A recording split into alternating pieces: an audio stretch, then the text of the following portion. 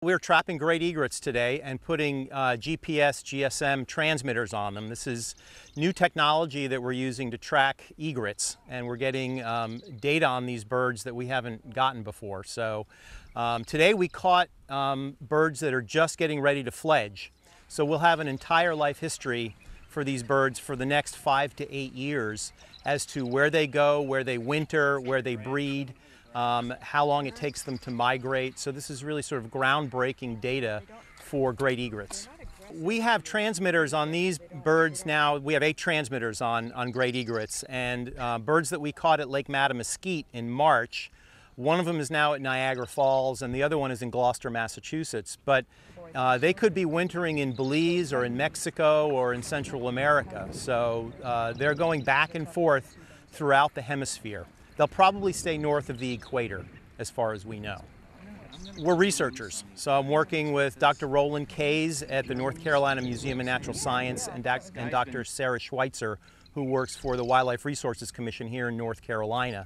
So we have all kinds of needs for the data. We're going to use the data to quantify how much wetlands these birds use. So it'll be important for us to know from a conservation standpoint how much, how much actual habitat they need from a conservation standpoint. And then, then when they move to different parts of the world, it's important to work with uh, conservationists in those areas as well to be able to know um, how much area they need to protect. So, um, so that's the research branch of it. There's energetics involved with it too. We're standing in a salt marsh. This is one of the most productive ecosystems on the planet, and it's producing the fish and the shrimp that these birds are feeding on. So you know, every organism has to make ends meet. So there's an energetic component to this as well. There's also an educational component. So each of the birds that we track gets assigned to a high school. And the students in the school are then um, using the data from the bird to do all kinds of classroom assignments, whether it's biology, environmental science, English. There are all kinds of educational aspects to this as well. The birds are tracked on a software called MoveBank, and anyone can log on. The data is out there for everyone to look at. It's public knowledge information, and you can look daily where the birds are. So we get one hour updates between 7 a.m. and 9 p.m. for where the bird is. And then we can get actually either 20 minute or five minute data as well if we get close enough to the bird to download information. The transmitters run on solar power, so they're going to be working indefinitely.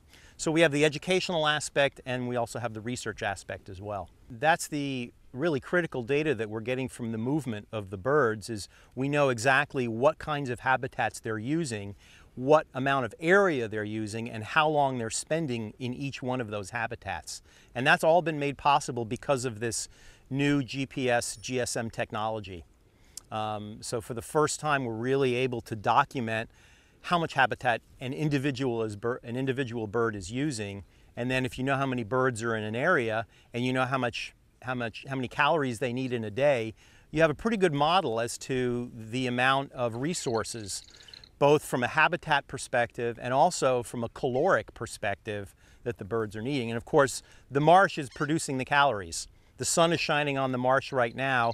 The nutrients that are being captured by the marsh grass eventually work their way into the ecosystem, which nourishes the bacteria, the fungi, the shrimp, and then all the way up the food chain to the fish. So these marshes are critical for, for these birds. It's all connected. So far it's been working. We caught our first bird on March 3rd and today is June 23rd. We still have all of our tags on our birds. Um, the bird that we tagged first is a, a non-breeding bird. It's a, a, it's one year old um, right about now, um, and it's hanging out near Beaufort, North Carolina. Basically hasn't left the area since March. So it's working. And our teachers are working with the students. The students are excited every day they come in, they want to know where their bird is. So uh, we've named the birds after the principals, and uh, project's working great so far. Audubon, North Carolina has brought many researchers to our sanctuary islands over the years, so having John come in order to do the egret tracking project is part of a long tradition, and we're always happy to facilitate research, and especially when it helps us to learn more about our birds, and the information that he's gathering will help us to know and understand what other areas they're using, how large of an area are they using to forage, what are their needs beyond having a good island to nest on.